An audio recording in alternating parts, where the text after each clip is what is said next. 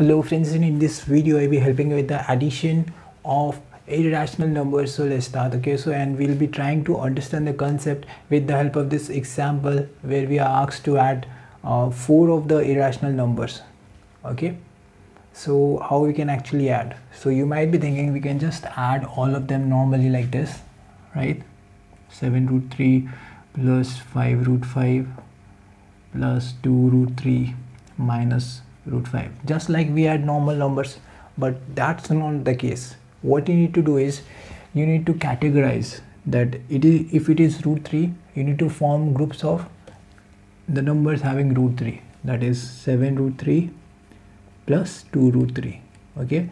And the other group you can have is of root 5 that is plus 5 root 5 minus root 5 right now for this group and for this group you can uh, do the addition. But you can't add or subtract the different roots okay? That is you can't add root 3 with root 5 that is not possible okay?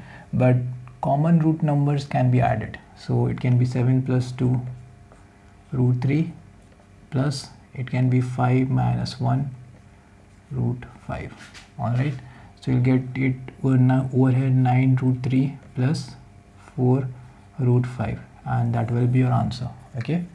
So what we learned from this we learned that we can add uh, same rooted numbers but we cannot add different root number like root 3 and root 5 cannot be added.